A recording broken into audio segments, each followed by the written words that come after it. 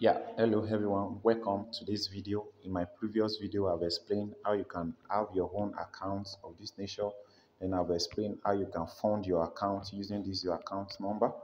Detail then this wallet has actually been funded. As you can see the available balance is 485 so in this video i'll be showing you how you can buy data or buy airtime for yourself for any phone number. So all you need to do is to just you can scroll down can follow this particular place to buy. You can buy airtime or you can left click then you see buy data bundle.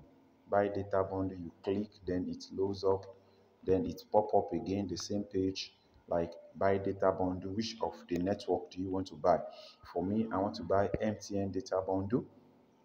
So i click mtn data bundle then it asks you which network then you select so in this place, we have two packages. We have the SME data, then we have the MTN gifting.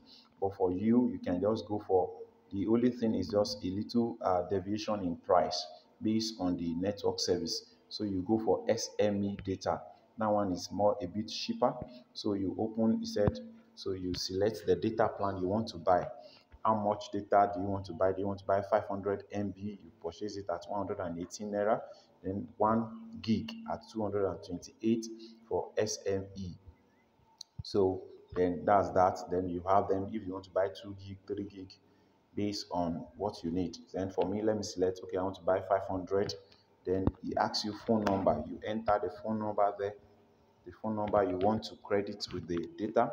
Then you enter your unique PIN here. So you enter your unique pin here, then entering your unique pin, like you enter your unique pin here, then you you can sell. Then you can sell. You can purchase. You say purchase, then you can easily purchase directly. So it purchases the data for you. Yeah, it said data purchase successful. So you have your data purchase already. So you can buy more data, you can return back to your dashboard. As you can see, it has been credited to my account instantly. So my balance is reflecting. Thank you. So in case you want to also buy airtime, the same process, you can go down, purchase airtime, you click it, then it pop up for you. Which airtime do you want to buy? MTN, you select MTN, then uh, you select which type of airtime airtime top up, you select confirm network, MTN, then the phone number you enter the phone number. Then amount to buy.